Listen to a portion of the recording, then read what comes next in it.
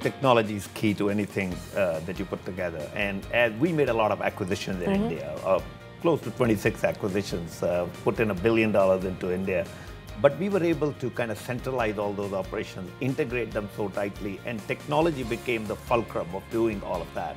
So if you can inculcate technology in the right way and centralize stuff, right, you can make, build efficiency into it. We also use the COVID time, in fact, to improve on our technology. Come in with stuff that would be that would make life easier. For example, for our customers to work from home or and, and so on. So I, I would say technology uh, has been key to our entire uh, modus operandi in trying trying to grow the company.